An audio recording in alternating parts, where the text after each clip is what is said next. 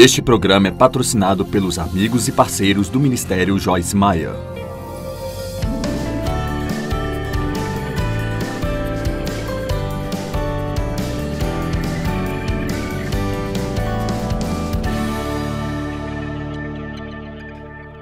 Estamos falando neste fim de semana sobre o maravilhoso, maravilhoso e incrível ministério atual do Espírito Santo em nossas vidas.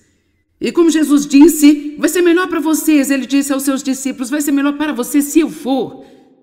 Porque se eu for, então eu vos enviarei o Espírito Santo. Que declaração, hein?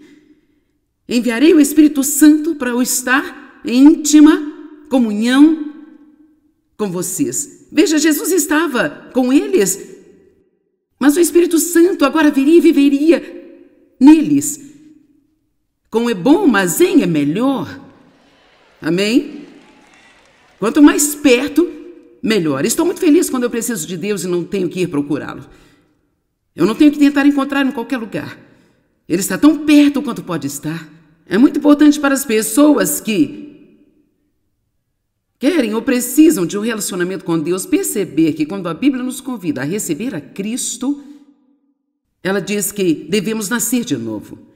Significa literalmente que Deus, através do poder do Espírito Santo, vem viver em nós e ele nos renova no nosso interior. Então, o que está em nós, com a ajuda do Espírito Santo, ele vai trabalhar fora de nós Assim ele pode fazer algo de bom para o povo aqui fora, no mundo. Sabe, não faz muito bem para nós apenas dar sermões a todos, nós precisamos mostrar-lhes algo. E nós queremos ser bênçãos, queremos andar no fruto do Espírito. Tenho certeza que todos vocês neste lugar, nesta noite, e aqueles que se importaram em ver o programa de TV, você, você está querendo fazer o que é certo, então você não estaria assistindo e ouvindo este programa? Mas a verdade é que não podemos fazê-lo sem a ajuda do Espírito Santo. O Espírito Santo é o nosso ajudador. Ele é o nosso fortalecedor. Ele é quem nos ensina. Eu sou, eu sou professora, mas o Espírito Santo é o professor. E veja, eu acredito firmemente que até mesmo que você recebe de seus professores, você tem que levar para casa e ficar diante de Deus com isso, e então confiar nele para realmente deixar que a informação se torne revelação para você em sua vida. Você pode entender-me? Não é bom o suficiente apenas obter informação, quer dizer, você pode ligar a TV e obter informação. Estou falando de informação espiritual.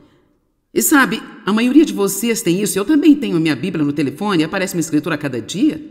E você pode apenas levar a palavra a todo lugar hoje em dia. Isso me preocupa, porque eu acho que nós temos muita informação, mas não temos revelação.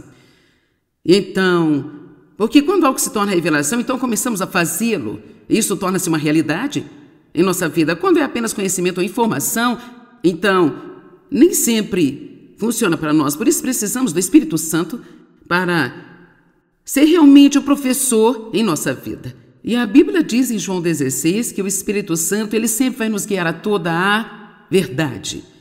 E vamos pensar nisso por um minuto. Apenas do ponto de vista de recuperar-se de. de coisas passadas que nos feriram. Sabe, a maioria das pessoas, para ser honesta, quando eles vêm a Cristo, elas vêm porque a sua vida está tão confusa, não sabe o que fazer com ela. Elas tentaram tudo o que sabem e nada funcionou, então finalmente, em desespero, se entregam a Deus e pedem para ajudá-las. É uma pena que nós temos que fazê-lo desta maneira.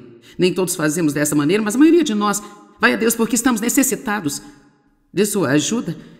E ele não se importa de nos ajudar, ele quer nos ajudar, ele quer nos curar, mas em seguida ele não quer que estejamos sempre em recuperação, ele nos quer recuperados. Então que fiquemos ocupados ajudando alguém.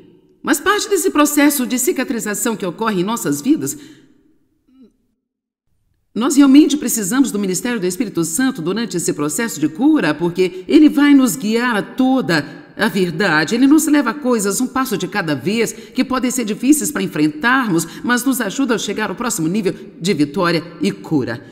Exemplo, meu pai abusou sexualmente de mim quando saí de casa eu pensei, ok, isso acabou, estou saindo daqui, esse problema ficou para trás. Bem, eu fiquei longe do problema, mas eu o levei comigo, estava em minha alma.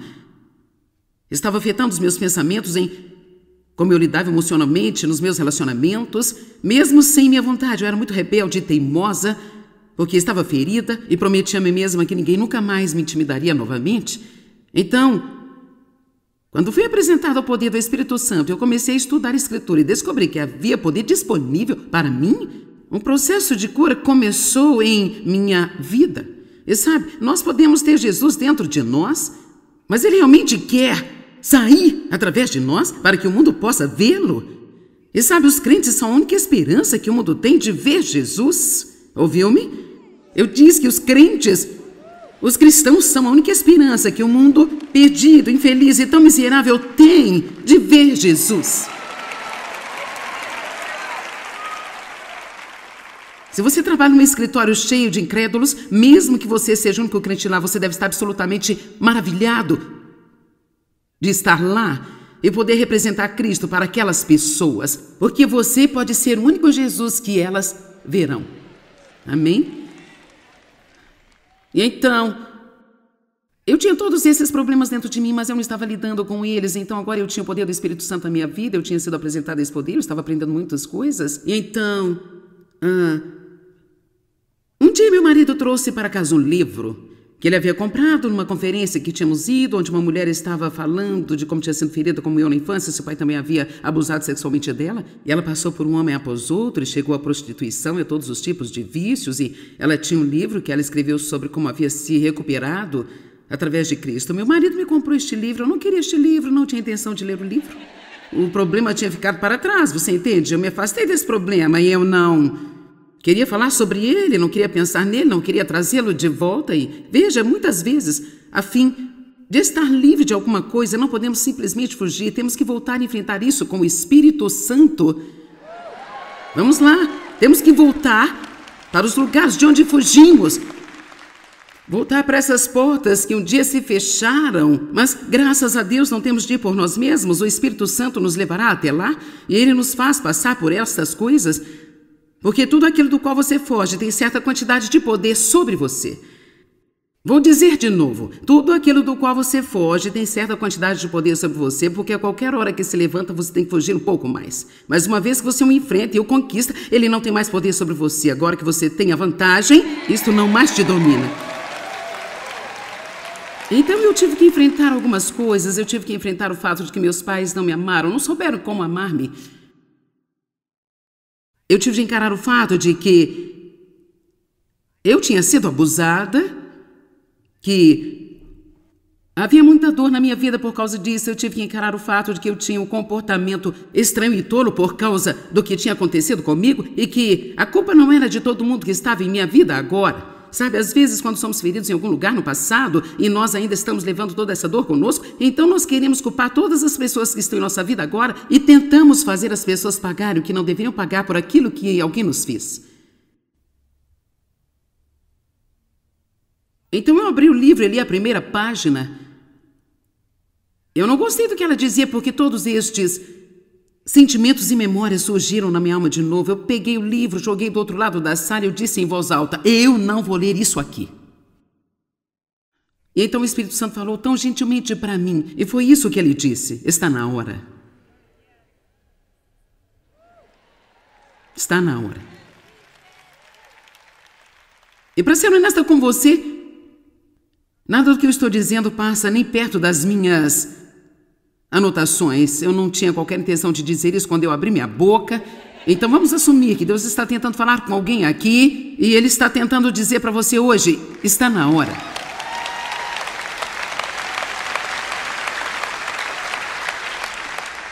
Ou talvez alguém aí em cima, está na hora. Está na hora. Veja, você pensa, bem, eu não acho que posso enfrentar isso, mas veja, você não vai ter de fazê-lo sozinho.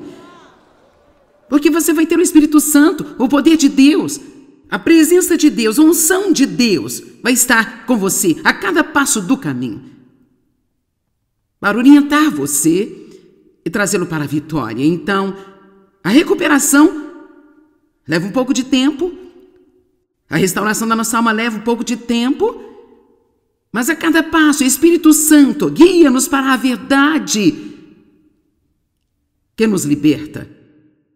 Este é o ministério do Espírito Santo. É apenas, é apenas uma vergonha tão repugnante quando as pessoas passam por toda a sua vida na igreja e nunca sabem sobre a, a, a íntima comunhão que podem ter com Deus pelo Espírito Santo e do ministério do Espírito Santo para com elas. Apenas, apenas me deixa zangada e me deixa espiritualmente com raiva pensar em quantos anos eu lutei quando eu poderia ter tido o poder do Espírito Santo se alguém tivesse me dito. E sendo assim, eu não quero ser culpada de não dizer às pessoas que há poder disponível para elas. Você não pode fazê-lo por si mesmo, mas eu quero te dizer que isso não é apenas um clichê das Escrituras. Todas as coisas são possíveis com Deus. Amém?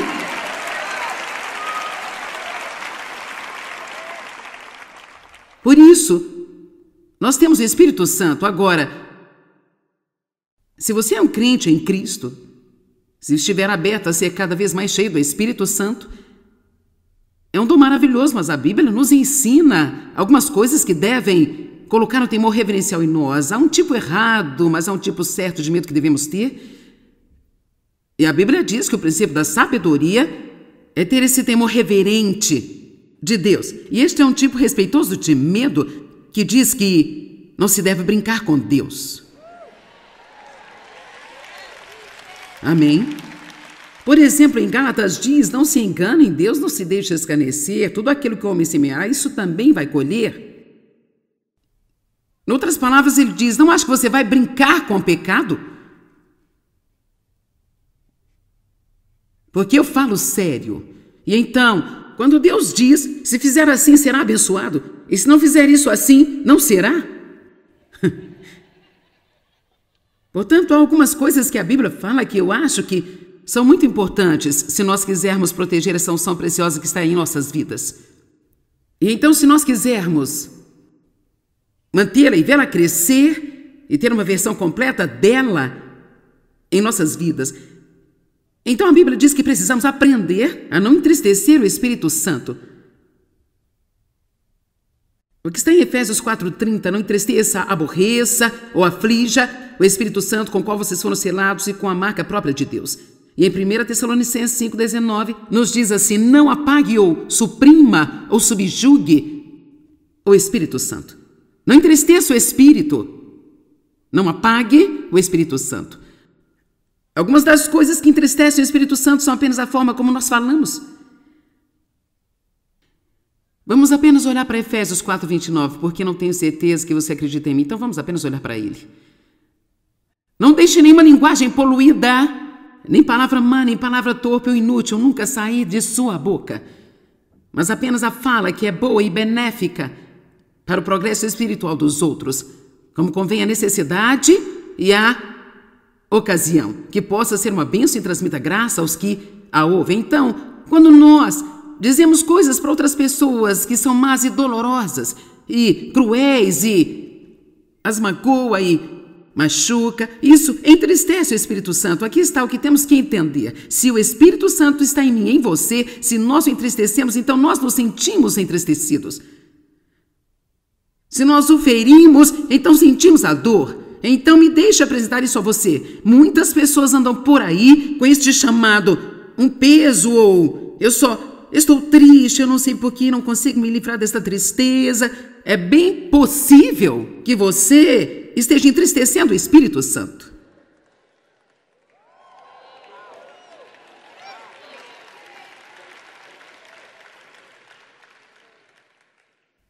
E essa é a maneira dele te deixar saber: eu não gosto disso, eu não gosto daquilo porque isso não é bom para você.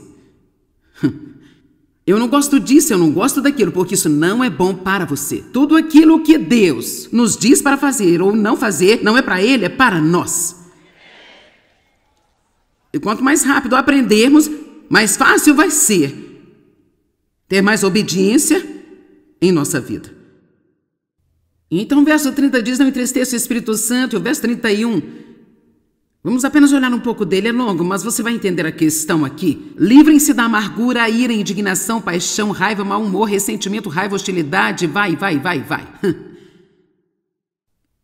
Noutras palavras, ele está falando de raiva, temperamento, falta de perdão, amargura, ressentimento e todas estas emoções tóxicas que tendem a perdurar em nosso coração.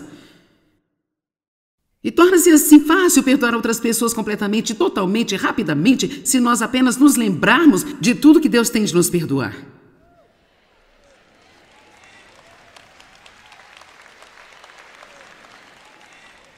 Certamente você não espera que eu te perdoe de novo? Você já fez isso quantas vezes? Quantas vezes vamos fazer a mesma coisa com Deus? De novo, de novo, de novo, de novo, de novo? De qualquer forma, você entende isso. Eu não tenho tempo para falar mais a respeito. Em 1 Tessalonicenses fala sobre não suprimir ou subjugar ou dificultar o Espírito Santo. Então, só quero continuar a falar com você sobre algumas dessas coisas esta noite. Vamos começar em Efésios, capítulo 3, versos 16. Que ele lhes conceda do rico tesouro de sua glória serem reforçados e fortalecidos com grande poder no homem interior, pelo Espírito Santo, ele mesmo habitando o seu ser mais íntimo na personalidade. Uau! Alguém que gostaria de ter uma personalidade cheia do Espírito Santo.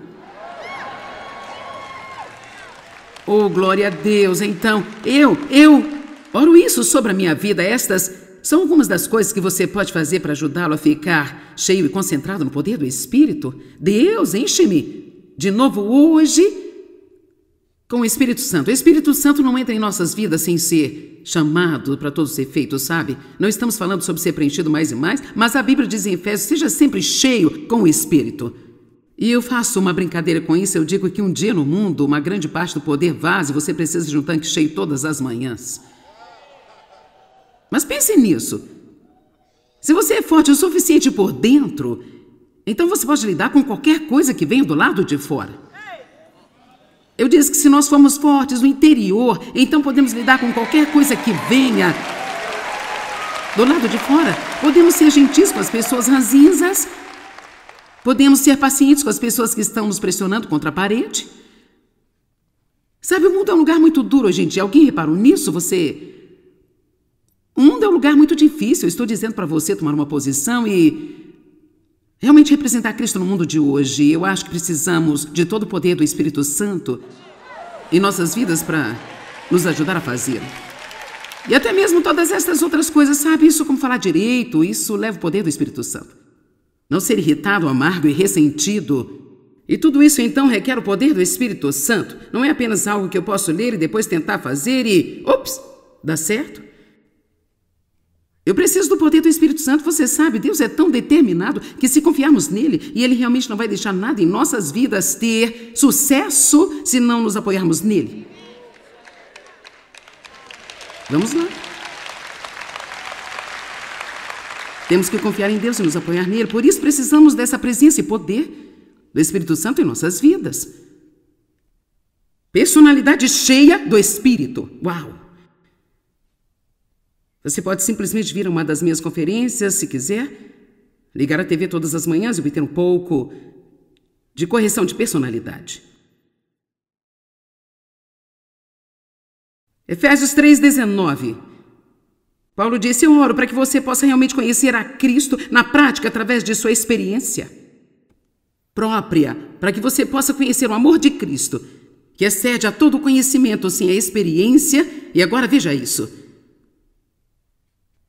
para que você possa ser cheio através de todo o seu ser, até a plenitude de Deus, para que você tenha a medida mais rica da sua divina presença e tornar-se um corpo totalmente preenchido, inundado com o próprio Deus. Então, aqui em dois versos, eu recebo uma personalidade cheia do Espírito e eu posso tornar-me um corpo totalmente cheio e inundado com Deus. Agora, o que aconteceria no mundo se cada crente saísse todas as manhãs com seu tanque cheio dele? Vamos lá. Sabe, se você dirige o seu carro sem gasolina, vai ter uma pane na estrada. Se você está tentando sair no mundo e viver a sua vida, sem noção sobre sua vida, você vai ter uma pane na vida. Pense nessas escrituras. Fortalecidos no homem interior, com grande poder do Espírito Santo, enchendo as nossas personalidades. Uau! Nós precisamos olhar para a nossa personalidade como um distribuidor de Deus. Deus trabalha através de nossas personalidades, através de nossas mentes, de como tratamos as pessoas, de como falamos. Ele opera através de nossos corpos, nossas mãos, nossos pés. Deus trabalha com pessoas. E por isso nós vamos olhar para as nossas personalidades como um distribuidor do Espírito Santo. O fruto do Espírito é amor, alegria, paz, paciência, gentileza, bondade, fidelidade, mansidão, autocontrole. Quando o Espírito Santo está em nossa vida, isso é o que devemos ver.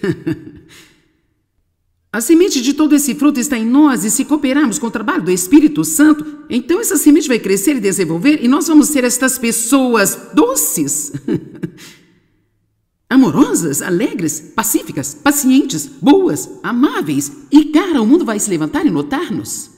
Alguém já notou que a igreja não está impressionando o mundo mais nesses dias que estamos vivendo? Não tem nada a ver com a construção do templo, é o povo, nós somos a igreja.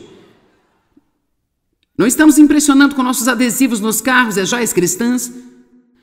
Todas as nossas traduções da Bíblia, eles querem ver o fruto. Fruto, você vai conhecê-los pelos seus frutos: amor, alegria, paz, paciência, gentileza, bondade, mansidão. Ok, agora este é um verso maravilhoso das Escrituras. Eu li isso há anos, eu não entendia, e na verdade eu meio que senti pena desta figueira, mas finalmente eu entendi.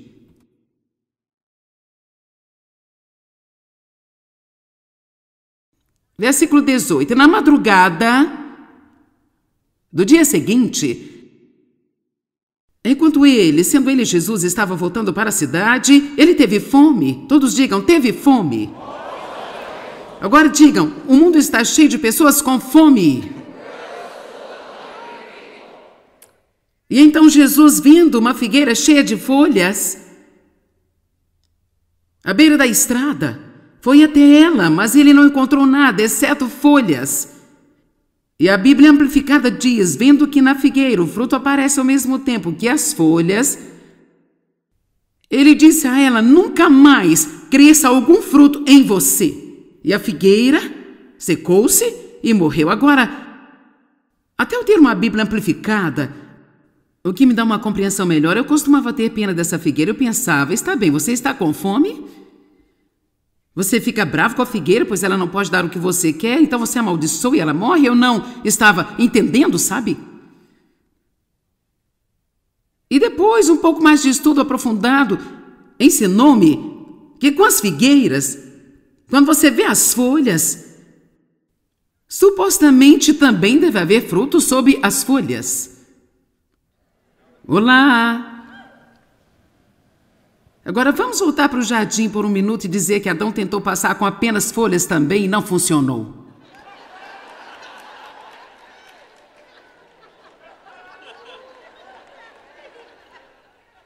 E é assim com muitos cristãos. Eu tive por muitos anos folhas. Você diz, o que quer dizer folhas? Eu fui à igreja, eu tinha só folhas? Eu li um capítulo da Bíblia todos os dias, quer precisasse ou não. Eu tinha folhas de leitura bíblica. Vamos lá.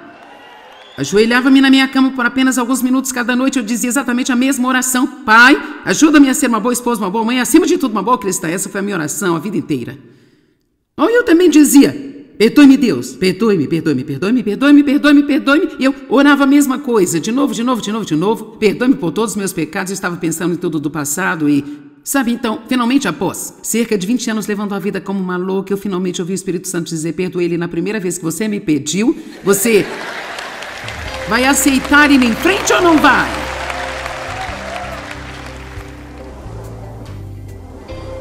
Você sabe que a presença de Deus em nossas vidas é um dom incrivelmente maravilhoso. Nós precisamos fazer tudo o que pudermos para manter essa presença manifestada de Deus. Eu não sei sobre você, mas eu quero sentir e acreditar a cada dia que Deus está comigo e quero vê-lo trabalhando na minha vida. Eu acho que é muito importante aprender a andar com Ele e deixá-lo nos levar em todas as áreas de nossas vidas. Eu disse em todas as áreas de nossas vidas.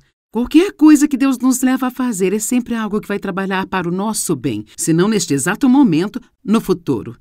Às vezes Deus nos leva de maneira mais fácil, outras vezes de maneira mais difícil, mas há sempre algo grande nisso que vai nos beneficiar no final. Obrigado, amigos e parceiros. Juntos, nós estamos compartilhando o amor de Cristo ao redor do mundo. Para saber mais, entre em contato conosco ou visite-nos online em joycemeyer.com.br. Junte-se a nós em parceria enquanto nós compartilhamos o amor de Cristo ao redor do globo.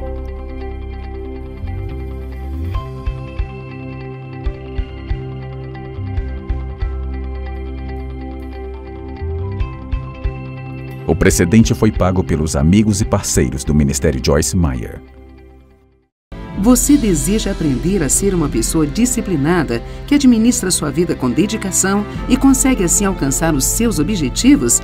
Então comece hoje mesmo a criar bons hábitos e se livrar dos maus hábitos. Neste livro, irei ensinar que podemos criar bons hábitos que encherão nossa vida de energia e também nos livrar dos maus hábitos que nos aprisionam. Ao desenvolver hábitos melhores, você pode se tornar uma pessoa melhor. Cada pessoa que ler este livro certamente extrairá dele grandes benefícios, pois ele lhe dará as ferramentas necessárias para mudar e despertará uma paixão pela mudança. Crie bons hábitos, livre-se dos maus hábitos. Você encontra nas melhores lojas ou pelo site www.beloshopping.com.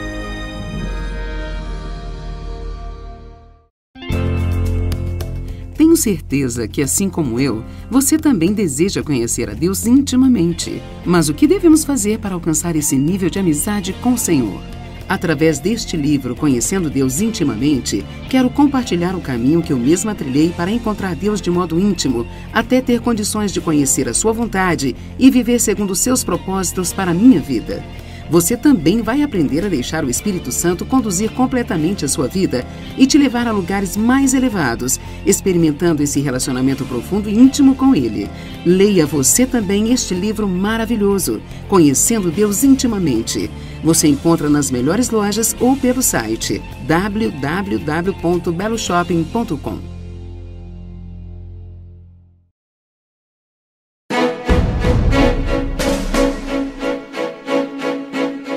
Você sabia que a adoração é a ferramenta mais importante para você vencer as batalhas diárias da sua vida? Como é o exemplo próprio de vários personagens da Bíblia, como o rei Josafá, que venceu os inimigos através da adoração, eu vou mostrar para você como atravessar todo este processo até a vitória.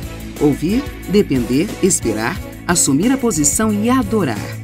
Ao ler o livro A Batalha Pertence ao Senhor, você vai aprender a manter os olhos nele, adorando-o em todo o tempo, enquanto ele luta por nós e provê cada uma das nossas necessidades. A batalha pertence ao Senhor. Você encontra nas melhores lojas ou pelo site www.beloshopping.com.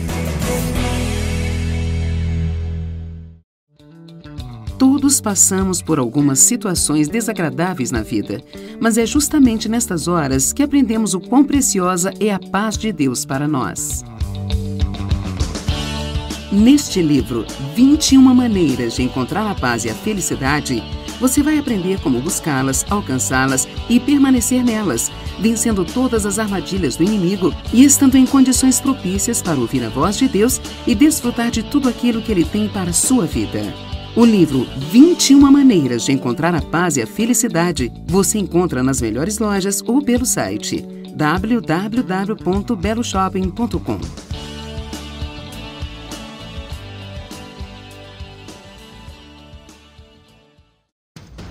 O diabo é especialista em usar inúmeras circunstâncias para nos manter para baixo, pois assim ele pode ter vantagem sobre nós. Mas Deus nos deu tudo o que precisamos para manter o diabo em seu devido lugar. E para isso, precisamos fazer mais do que apenas conhecer a Sua palavra. Precisamos colocá-la em ação. Em meu novo livro, Oito Maneiras de Manter o Diabo Debaixo dos Seus Pés, você vai aprender a permanecer em paz em meio às tempestades da vida, a passar um tempo transformador com Deus, a derrotar os ataques de Satanás com palavras de vida, a receber o amor de Deus e deixar que ele flua para os outros, e a estar ciente dos seus pensamentos negativos e de como você pode vencê-los. Quando você colocar a palavra de Deus em ação, coisas impressionantes começarão a acontecer. Oito maneiras de manter o diabo debaixo dos seus pés você encontra nas melhores lojas ou pelo site www.beloshopping.com.